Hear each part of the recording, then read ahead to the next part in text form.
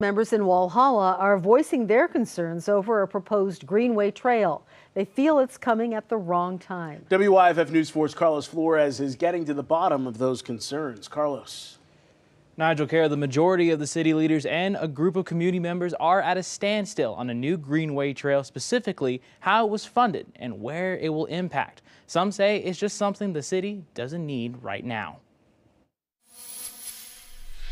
Our water department, our garbage department, our police department, our fire department, and to me it is ludicrous to spend a half a million dollars or more just some of the concerns people brought up at tonight's community town hall. Councilman Keith Pace is for the project and says this was in the process of happening for some time.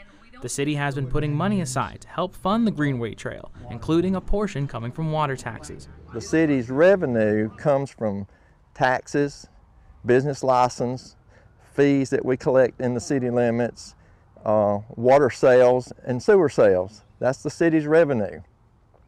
So to fund projects, we use that money. A concern over the rise in water taxes was also voiced, which Pace says it will help pay for those other concerns people were talking about tonight. We did that to fund the government and the operations of town. Um, with that rate increase, we're getting ready to uh, pass our, our budget for this coming, this coming year, and that rate increase is going to help fund three positions at the police department, three positions at the fire department full-time, and um, a, a raise. But it seems there is a misunderstanding of how much of those water taxes will be used. I wish people would understand that this is not coming off of the backs of our water customers.